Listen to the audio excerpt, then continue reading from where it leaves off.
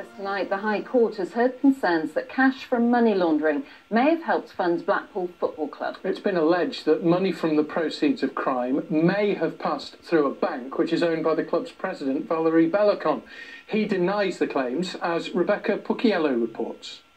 Fan unrest, controversy, and a fractured club has been the backdrop to another disappointing season for Blackpool.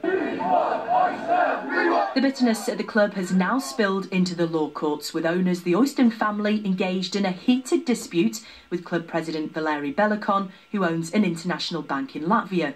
That bank was recently fined more than £780,000 for repeated violations of money laundering rules and transactions that subjected the bank to a significant money laundering risk. With that, the Oystons allege he could have put some of that laundered money into the club, saying that the funds put in by Belokon one way or another were the proceeds of crime, or probably the proceeds of crime.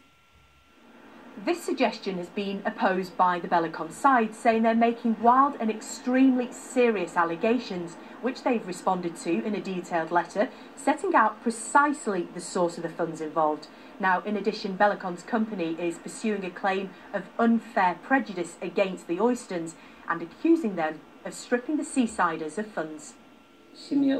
Owen has, in essence, done a lot for the club in over 25 years.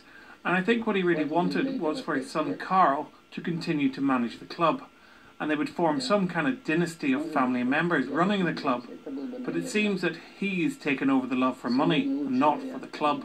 The court registrar told both parties that there was an element of grandstanding and that if they were going to take this anywhere, they should get on and do it. The hearing continues. Rebecca Pucciello, BBC Northwest Tonight, Blackpool.